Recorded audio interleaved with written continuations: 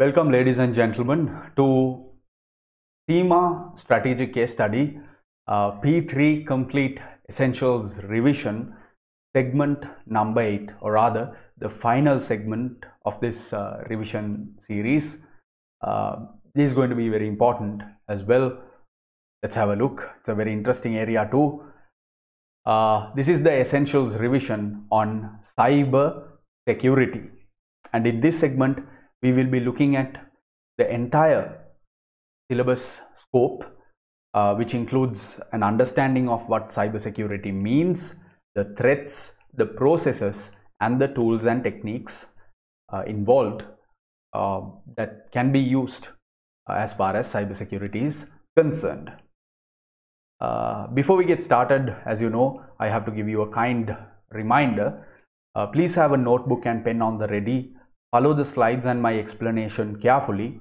Make notes as you deem necessary. Uh, do maintain a list of key topics that you feel you're weak at so you can self-revise later at your convenience and maintain a list of key performance and management tools that can help model answers in the case study exam. A quick reminder on the core activities as well. Uh, core activity D is evaluate and mitigate risk and core activity E is recommending and maintaining a sound control environment. You pay close attention in the areas column, uh, you will notice evaluate and mitigate cyber risk. And that is the segment or that is the section or the task that is covered through this segment. All right, so to get started with, uh, let's introduce ourselves ourselves to the concept of cybersecurity. It all starts with the idea of sensitive information, which is considered to be a key driver for businesses and protecting the same is of vital importance. And uh, the concept of cybersecurity becomes so very important because as you run a business, you realize that there is going to be a bulk of sensitive information that you need to maintain and protect. That is where cybersecurity comes into play. A key risk associated to sensitive information will be the reputational risk that can arise in the event the sensitive information is compromised. Other risks include downtime, customer flight, legal consequences, and the types of information that are sensitive can be personal information, business information, and classified information. So, living in a day and age where information is so very critical to a business, obviously uh, cybersecurity becomes even more important. Let's see how. How technology interacts with the organization will have a key impact to the risk exposure from cyber threats. And these interactions, right, the different kinds of interactions uh, of how tech works with organization, it could be based on the type of technology, depending on the software that is used, uh, it could be based on how the organization is connected, maybe through a VPN, a virtual private network, or an intranet, or a LAN network, etc. Uh, the service providers used by the company, for example, cloud services that a company could hire, and how the company delivers the product, for example, online, social media, etc. The actions that could affect the organization from a cyber security perspective. So, uh, our understanding is if a business is trying to expand or acquire or restructure or regulate, these are four fundamental actions that can affect the organization from a cybersecurity angle. So we need to be vigilant of all these different aspects. That brings me to the objectives of cyber security, which is commonly known as AIC. A stands for availability. A sound cyber security or uh, a sound environment, cyber environment that is of strong security means that information will be available, that there will be continuous uninterrupted access to information. Then you have the confidentiality aspect, that information must be confidential and must be protected. Then you have the integrity aspect of things uh, there are two branches here integrity of data that is data should be reliable and the integrity of processing that is the data should be accurate rather the information should be accurate which you get from the data. Now, having an understanding of why cybersecurity is important and the kind of actions that cybersecurity involves, the fundamental idea that this is all about protecting the sensitive information a business possesses, we move on to understanding the different uh, types of or basically discussing the threats related to cyber security. To start with, we can look at different types of cyber security risks. There are a number of uh, different types. It's not a complete list by any means, uh, but just a few good examples. Uh, you can have malware, which is malicious software. Uh, under malware, you can have ransomware, where information is held uh, or systems are locked uh, in order to use them as hostage situations. Botnets, which are network of private computers infected with malware and controlled by botnet agent. These are designed to follow the attacker's instructions without the knowledge of the owners. Then you may have Trojans, which pretends to be a useful thing but secretly releases software to system generally to control machines subsequently. So these are different types of malicious software you can have. Uh, another example is malvertising, which are online advert advertisements where malware is written into. So you click into it, um, you know you are exposing yourself to a cyber security threat then you can have viruses which replicate endlessly and infect programs and files and damage or destroy data uh, these were uh, booming uh, i remember back in the late 1990 uh, you know uh, the the last uh, decade of the the 20th century and early 21st century then you can have spyware uh, to spy on victim systems without being detected. For example, you can have keyloggers that uh, uh, pick the uh, logging information, you know, your password and username, etc. So these are different types of malicious software that can be a huge risk in terms of cyber security. Then you can have application attacks. These are softwares that attack an application. Uh, under this, uh, there are basically four different types of attacks, DOS, SQL, cross-site scripting and buffer overflow.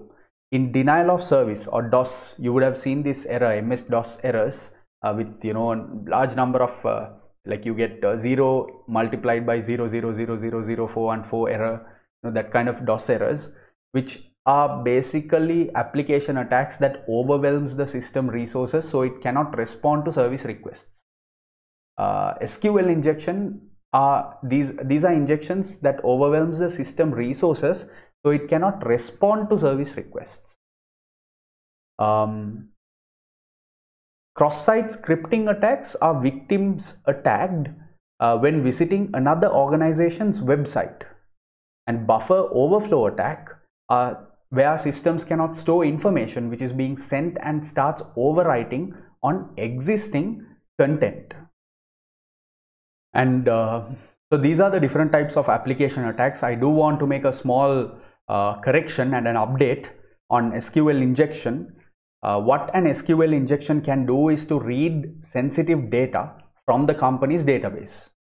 It could modify data and it can even execute administration operations like even shutting down um, and, and transferring data. Uh, it could recover the content of a given file and in some cases even issue commands to the operating system.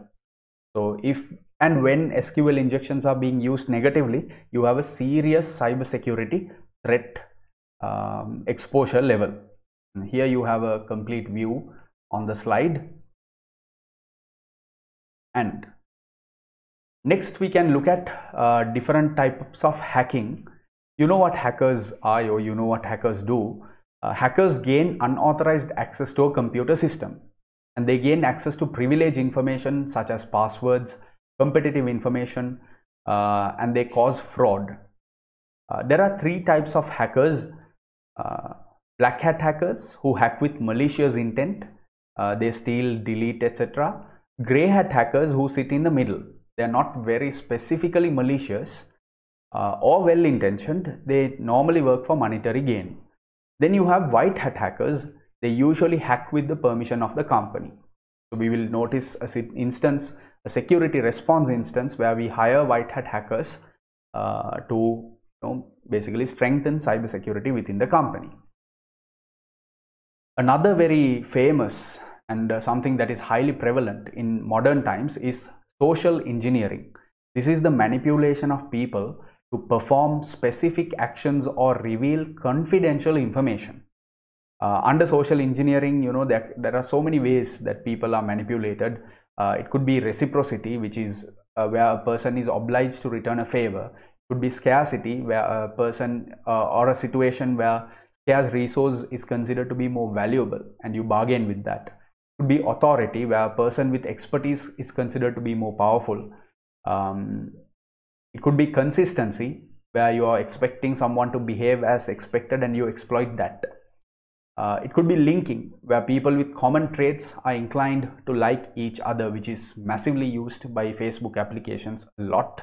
That's why Facebook apps, like I'm talking about those games uh, embedded within Facebook, uh, those are very, very um, famous and very time consuming and very wasteful to the level that linking is being used.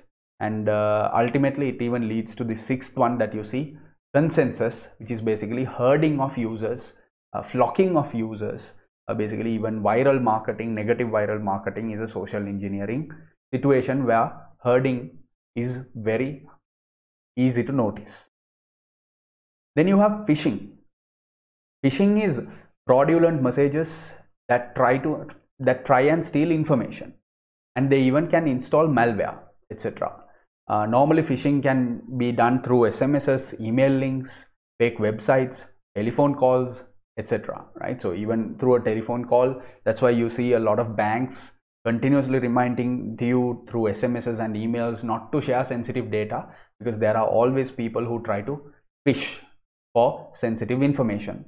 Uh, spear phishing is targeting a specific user through phishing emails. My goodness, uh, you must be extremely careful. A few years ago, three, four years ago, phishing was a major, one of the most major cybersecurity risks that propelled the corporate world to training almost all employees around the world. Uh, even when I was working at Moody's Corporation, I had to undergo 40 hour training on cybersecurity uh, to ensure like they were so vigilant about it because of the, the Yahoo hacking incident and all of that. So um, that is another type of cybersecurity risk. Now we want to pay closer attention to social media uh, in terms of you know uh, the the good things and the bad things etc. First, let's focus on the opportunities.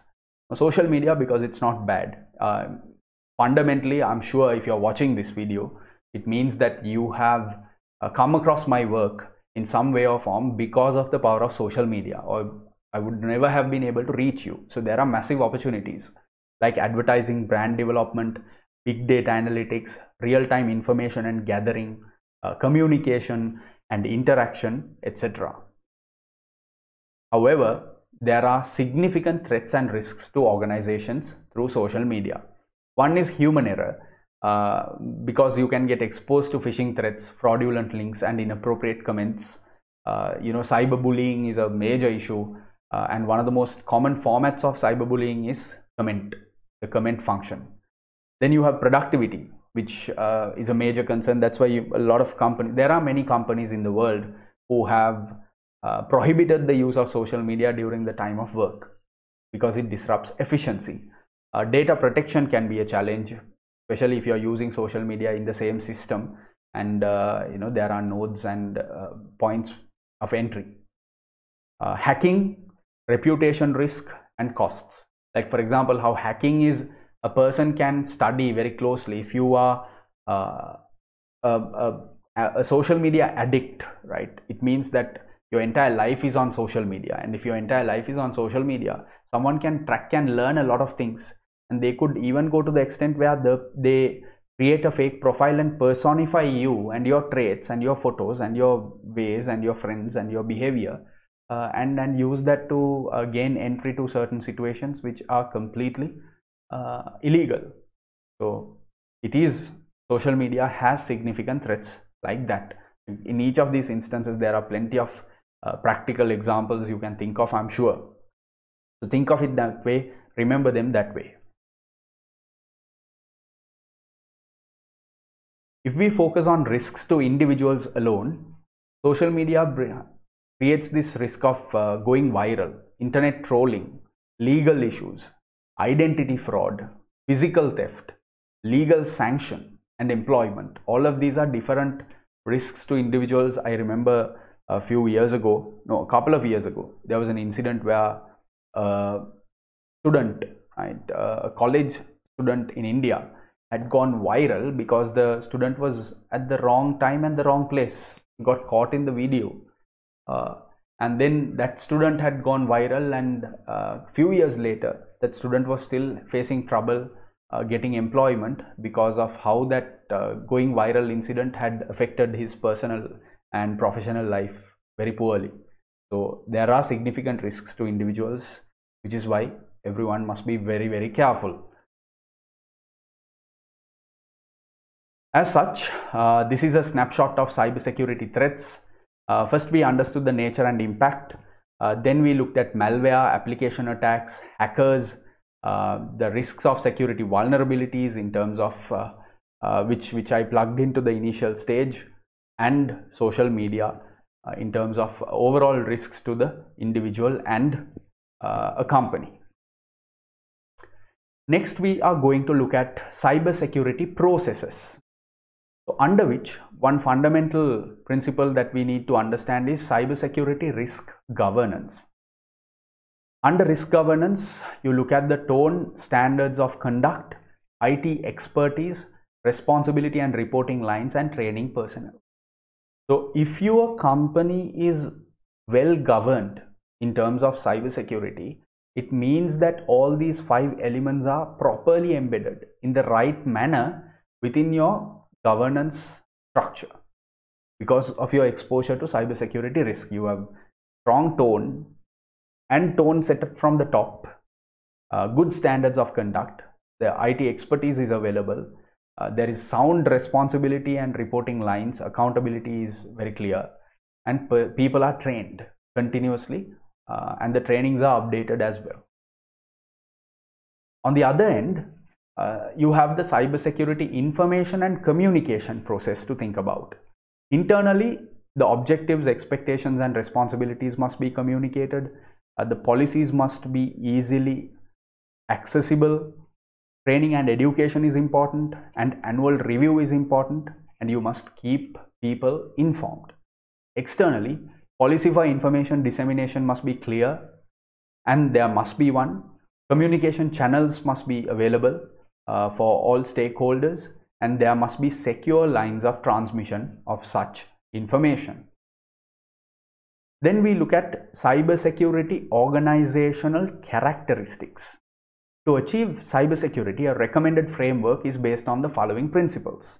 Protection, detection and response. Protection, detection and response. So, under protection, what are the areas we need to protect? Servers, desktops, laptops, mobile devices, networks, business applications. And how do we protect? What are the different forms of protection? I mean the above list is not at all an exhaustive list. There can be multiple areas uh, that needs to be protected. Uh, forms of protection you identify you can authenticate you authorize and you can protect secrets and you can have physical security and personnel controls and so uh, fingerprint identification uh, authentication can be retinal scan, you know, all kinds of uh, gadgets that can be used. Authorization based on access levels and see, sorry, seniority. Uh, secret protection, you know what kind of uh, uh, methods are available in terms of firewalls. there are so many digital tools, antivirus software, etc. Um, physical security you know even even simple things like setting up a pass key right, a passcode to your phone if you're protecting secrets uh, physical security uh, that is basically you know the the generic physical securities that you can have uh, having uh, key cards key chains etc uh, and personnel controls what are the different methods of protection? You can have policies and policy management. Software updates can be done. Configurations can be done. You know how rigorously now I use uh, Windows operating system and Windows 10 and they continuously update the software once every week or once every month they have new updates coming in and one of the most common updates you will notice if you if you look look at the history of the updates these are those are software security updates security products can be used uh, Avast uh, I don't know there are McAfee there are so many antivirus softwares right uh, so those are security products you can use and uh, you can have application software controls. Uh, input controls like monitoring logs, manual authorizations, processing controls like verification and checking and validating, uh, output controls like physical checks and uh, logs monitoring again. The second uh, aspect is after protection detection. Uh, detection strategies you can have event monitoring which where you check uh, logs for any usual or unusual activity intruder detection and prevention where you monitor them in an ongoing basis, threat monitoring where you study how hackers can attempt to intrude and user reports where you identify exceptional and any unusual incidents. That is how you can detect. Finally, response. So you can establish a computer incident response team, what you generally refer to as a CIRT uh, this team will try to minimize losses, restore normal operations ASAP and assist with investigations. They can help provide data for decision making and response and assist with communication during critical periods. If you have a computer incident response team. Now, I want to take your attention to a very specific angle related to the case study. Now here, when you think about your case study variants, uh, the variants sometimes are designed, especially if it is related to cyber security, the variants are designed at a point where you need to either protect, in which case you have to write about protection, or at a situation where the circumstances require you to be detecting, where you need to show your skill of detection, or most commonly what we've seen is something has gone wrong and therefore you need to respond to that situation. That is the most common type of cybersecurity variant we've seen in which case uh, you're basically reacting to a situation that has gone wrong um, all right. So how do you defend against cybersecurity threats? Desktops can be defended using passwords. You can have centrally managed software screen lockouts etc laptops you can encrypt them. Storage security policies in addition to the above can be established. Mobile devices security applications access control data encryption can be done network configuration and management you can control the ip addresses limit them uh, consolidate them protect them. You can maintain software versions update them uh, establish firewalls for system entry block uh, uh, blocks entry from malicious or doubtful points of uh, or doubtful sources. Uh, you can have antivirus software etc so these are different a few examples of how you can defend against cybersecurity threats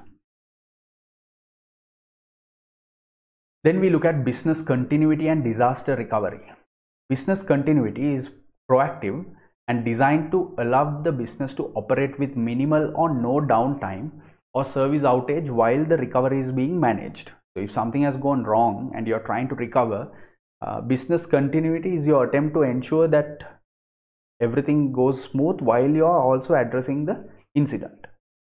Disaster recovery is reactive and is limited to taking action to restore data and applications and acquire new hardware that is disaster recovery. Uh, backups is one very key element to responding to critical events. Nowadays backups are very very famous.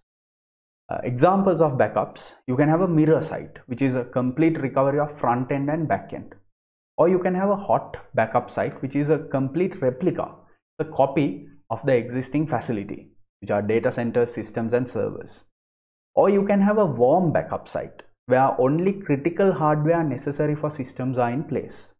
Or you can have a cold backup site where only a specific area which you've chosen is maybe it's because that's the area that is most important and you back it up right for example uh, i can tell you in terms of my data and information i have a cold backup not not a different site or whatever just a uh, portable hard in which i have backed up specific areas of my information these are the different types of backups uh, and this can be a very very effective tool for cybersecurity uh, threats related to uh, loss of data. Now under processes one new entry that we see in the syllabus is the idea of blockchain. Now we are not going to dive deep into the workings of blockchain which is extensively discussed in E3 digital technologies. I suggest you go and check out the uh, video if you haven't.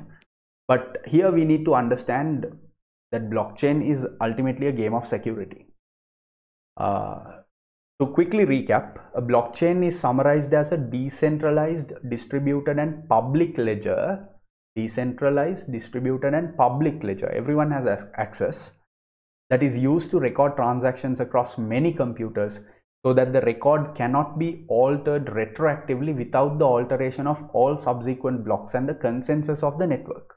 So if there are five people involved in a transaction, a block is created or what blockchain does is if one person changes a particular piece of information, then all the five, the entire trail will change, but it has to happen through the consensus of the network. If the network doesn't permit, if other people don't agree with it, you cannot change that trail. That is the primary trait of what a blockchain does Alternatively, it has been defined by the Bank of England as a technology that allows people who do not know each other to trust a shared record of events.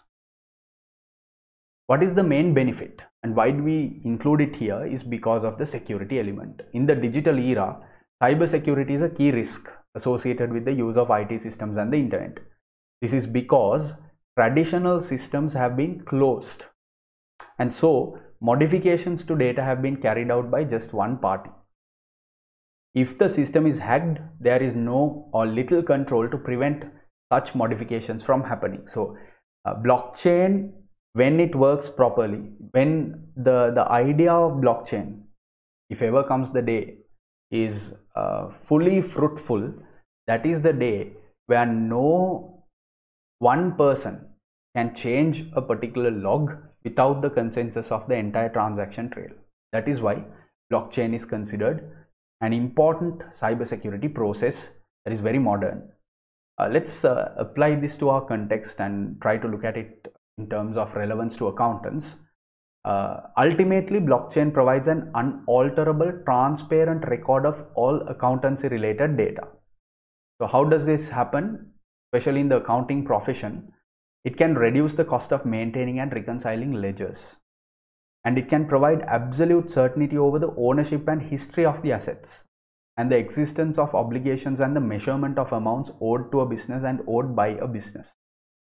It frees up time to allow staff to concentrate on other responsibilities like planning, valuation, reporting rather than record maintenance. And those are just a few examples of how blockchain can benefit the accounting profession. There you go.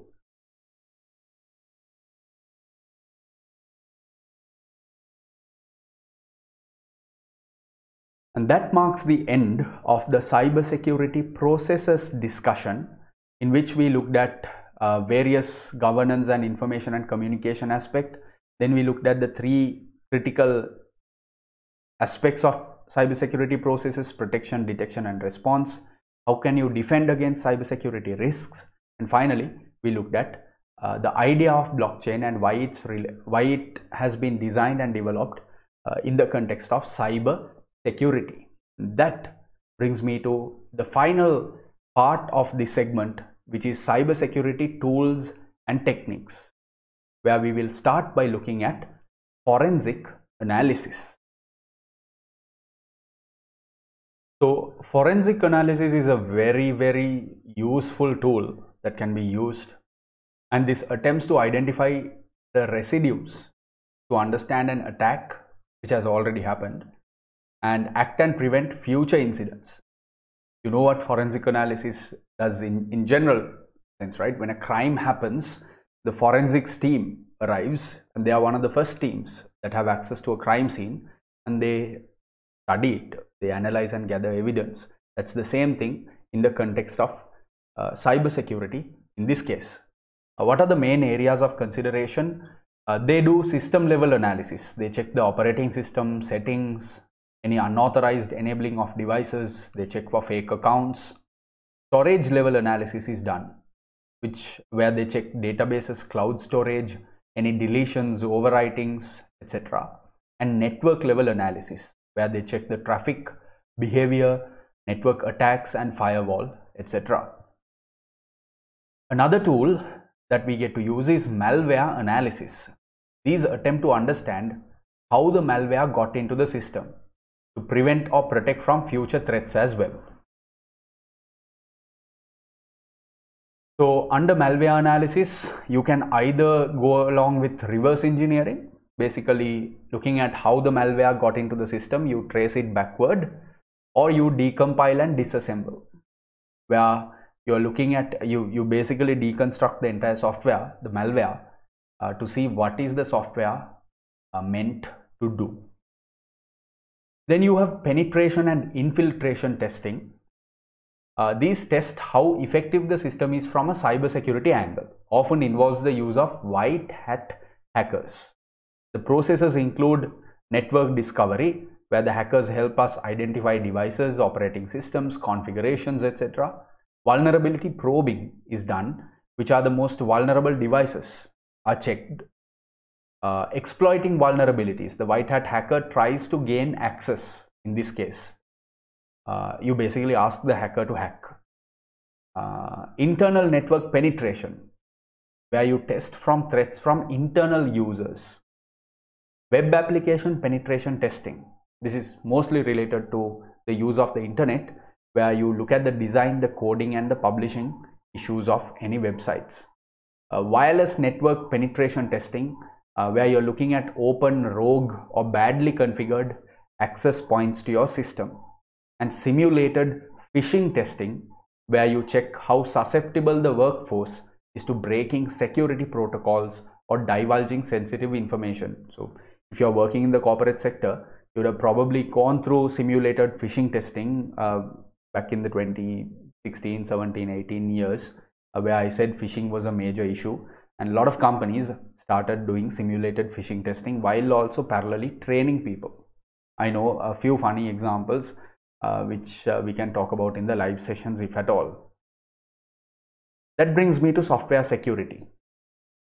So software security is the process of writing security into the software. As attacks on software can be complex, the security needs to be considered in different ways. There are three levels of security. Level 1 which prevents the attacker from gaining access to the software at all. That is level 1 security. Level 2 is concerned with making sure that if a breach occurs, an alert notifies the appropriate parties that an attack has breached the level 1 security. Level 3 is where time is critical in any attack no and in a very short space of time data can be compromised. So when the level 2 alert goes out this level takes automatic urgent action for example by locking down the accounts and sensitive information. So you write an automatic script into the uh, software uh, to add a level 3 security. Uh, under software security, you can do design review where you go to design roots. Uh, code reviews can be done. You are looking at how the code is written with a focus on how someone proves they should be allowed to access the system. And then you, you can look at security testing, uh, which is in addition to assessing the strength of the controls in key areas of vulnerability, an internal audit type review will be required to test whether the controls are being carried out security testing. right? In addition to compliance testing and substantive testing. That brings me to digital resilience. So this is the modern, most modern concept of cybersecurity. Uh, this is about doing more than the minimum to protect the company and comply with regulations. But you integrate cybersecurity into the business operations. There are six actions you can conduct to achieve digital resilience or to make your company digitally resilient. One, you identify all the issues, aim toward a well-defined target, work out how best to deliver the new cybersecurity system, establish the risk-resource trade-off, develop a plan that aligns business and technology, and ensure sustained business engagement. These are the six actions that you can undertake to achieve digital resilience. That brings me to frameworks. Frameworks have been created, right? Frameworks by, by various organizations because cybersecurity has become a very important mandate at the moment. Uh, although they are not mandatory, give an organization something credible to show stakeholders to confirm that they do have robust processes and controls in place. So there are a few frameworks that we can look at. One is CIMA and AICPA framework. Uh, they, are, they say cybersecurity involves risk management reporting through three components, management description, management assertion, and the practitioner's opinion. The criteria they have outlined, uh, there is a description criteria, control criteria, and the practitioner's opinion that is offered with respect to the criteria. Uh, it's it's not the most simple framework. Uh, it's a little actually daunting uh, when you look at it. Then you have NIST's framework by the National Institute of Standards and Technology, implementation tiers to provide context to choose the right level. So now I'm, I'm I feel like I'm talking about something that only I know, right? Uh, these frameworks are mostly about reporting reporting how well you're doing on cybersecurity. So uh, just like integrated reporting by the IIRC or uh, sustainability reporting by the Global Reporting Initiative, uh, people, organizations have come up with different ways uh, and frameworks. They have pitched it to companies to say, look, you have this framework, uh, you use this framework to report. So the CIMA and AICPA report is actually one of the most detailed and, and for me, in my personal opinion, one of the most complicated uh, frame, frameworks uh, proposed and uh, one very rarely used one. Then you have NIST's framework where they say, okay, you talk about implementation tiers. Give context to choose the right level of security. Then you give a core uh, telling us or informing the stakeholders about a set of desired cybersecurity activities and outcomes.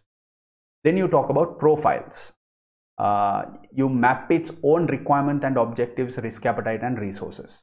So you report on the profile, the core and the implementation tiers, the levels under NIST's framework. You need to, I mean, download the framework and, you know, go into a little bit of detail. If you want to study them at a deep level, but at the SCS level, that is not our concern. Uh, we need to be aware that there are frameworks available that companies could adopt. Uh, the final one here, and, and in fact my favorite is the AIC triad, which has three elements. You remember the AIC framework? Aimed at helping organizations understand information security and set up policies to help protect the organization. It is easy and simple. So under AIC triad, you look at availability, where systems must be online and available. Otherwise, organizations cannot do business. You re report on availability aspect integrity where you make sure that people who modify data are authorized to do so means the data is more likely to be accurate and trustworthy. And confidentiality when data is being stored and when it is in use or in transit there need to be rules in place to limit access to those who are authorized to use it. We document those rules and you make them uh, well aware across the organization. Those are the three frameworks uh, that we closely uh, or quickly look at and that marks the end of uh, cyber security tools techniques and the reporting aspect uh, where we looked at forensic analysis malware analysis, penetration testing, software security, and finally we looked at how to be digitally resilient and uh, wrapped the discussion up with reporting frameworks that are available for an organization uh, which wants to report on their cybersecurity initiatives. And on that note, as you know, uh, do keep learning and uh, enjoy the process. We have completed the discussion on cybersecurity, uh, threats, processes, and tools and techniques. That is the end of uh, segment number 8, the final segment for the CIMA SCS P3 Complete Essentials Revision. And uh, if you have gone through all of the 8, right, uh, 7, segment 7 with two parts, but segment 8, you have gone through all of them.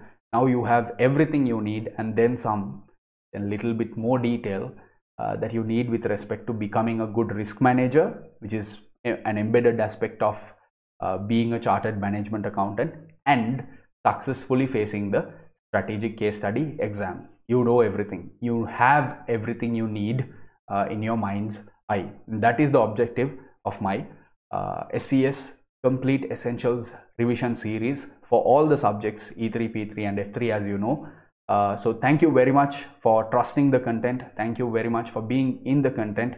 Uh, as you know, one of the fundamental suggestions I make is make a note of any areas that you don't feel very comfortable with, that you don't understand, because in the live sessions, I expect you to uh, bring them up so we can discuss them and clarify any and all doubts that are available. Because we need to always move forward uh, with the notion that we are confident that we know everything that needs to be known. So my objective is that I hope I have served that objective to the best of my ability. I know that this is world-class material that you're contending with. I'm very happy uh, to have been able to provide that kind of service to you. So thank you again for trusting me. Uh, happy learning, ladies and gentlemen. I will see you soon. Thank you and uh, God bless.